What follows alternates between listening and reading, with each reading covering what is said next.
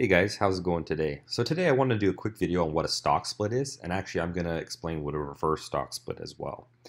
So simply put, what a stock split is, is was when the board of directors decides that they want to split the price of the stock by a certain factor, and then the number of shares um, will increase by the, the same amount. So fundamentally, there's no difference that occurs in the company.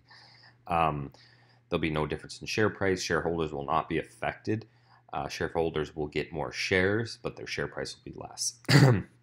so, for example, here, uh, this is Apple one that comes to mind. Back in 2014, they did a seven to one. So I, I believe that the share price back then was around 700 and some dollars a share. So let's make the assumption that it was 700 dollars a share at the time.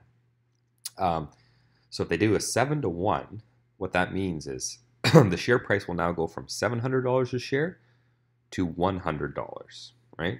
So that's the factor of 7 that goes down. Now let's say that there was 100 shares outstanding uh, for the company as a whole. Well, now there's 700 shares. So as you can see, if you think about it, there's no difference whatsoever. There's just more shares outstanding and the share price is less. So it, this is kind of can be explained by my video entitled "What is a stock?" I kind of explain this. I'll put a little link at the end of this video uh, if you watch it to the end on on that video. Um, so it's basically kind of like when the company goes IPO, they can decide how many shares they can sell and at what price and whatnot, right? So the reasons. Well, what is the reason that it, that the board of directors would decide to do this? Well, it doesn't really make much sense, you know, intuitively because it's not making any difference. But one of the biggest quoted factors is that um, it makes the share price seem especially to small investors, retail investors, more attractive. Um, and also people that don't have um, a significant amount of capital to invest are maybe now able to buy it. So if you look at Apple right now, that seven to one would put Apple at nearly twelve hundred dollars a share. Um, say you only have two hundred dollars of cash to invest, well now you can buy a share of Apple, right? Uh, whereas before you, unless you're dealing with some company or something that will allow you to do uh, fractional shares, you can't even buy a share.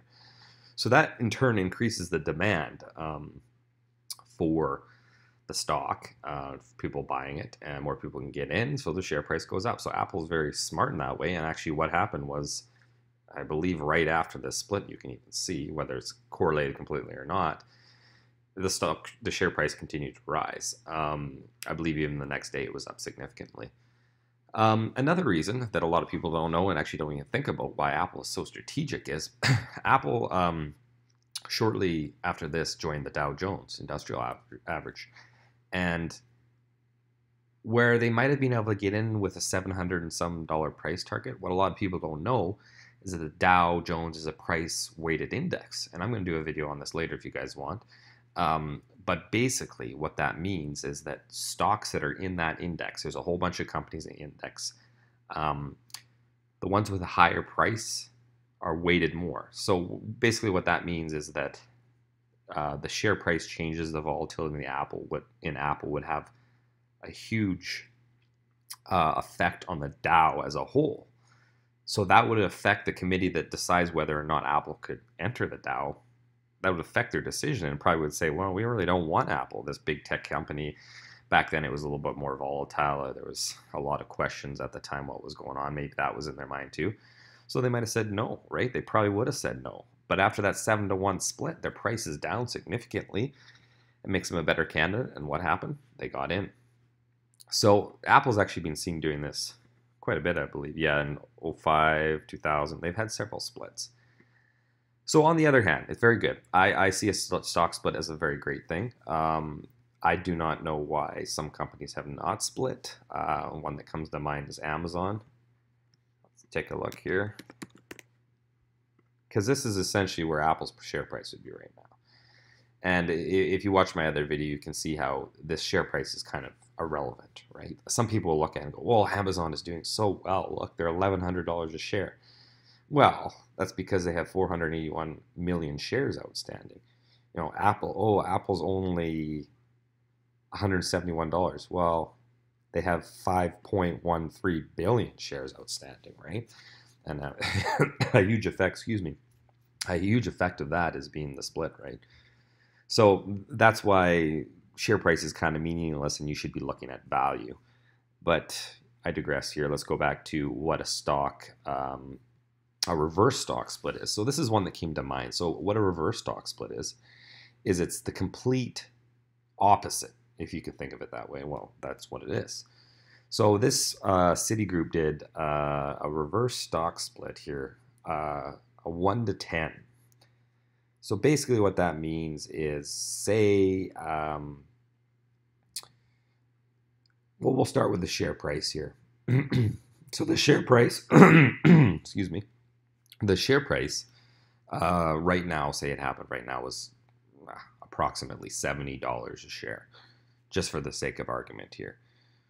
Okay, the price would increase by a factor of 10, a 1 to 10 reverse split, right? So it would be $700 a share now, right? But the number of shares that you have would reduce by a factor of 10. So if you own 10 shares, well, now you only own one share, right? So this one can be even a little, can seem even a little bit crazier again here. Why? Why we want to increase our share price and decrease the number of shares that our shareholders have? Well, in a lot of cases, this is um, not a good thing I found in many smaller companies. Um, sometimes they want to decrease volatility because uh, this tends to do that. But one of the biggest reasons I've seen is uh, companies that are fearing being delisted from exchanges because exchanges have certain rules associated with them um, to, to maintain, uh, to, to stay on a, an exchange.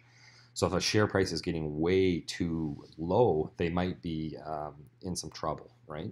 So that's the basic gist of uh, what a stock split is and a reverse stock split. If you guys have any questions, leave a comment down below. Be sure to like the video uh, and subscribe and hit that notification button so you can see when I come with new videos.